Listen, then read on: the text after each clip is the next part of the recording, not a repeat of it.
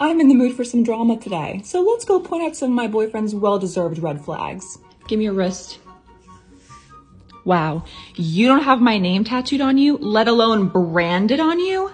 Get on Pete Davidson's level. Red flag. Excuse me, sir. What are you eating? Chips. And not me? Red flag. Look at this garbage. Replenishing his beauty rest instead of cuddling me in his arms. Red flag.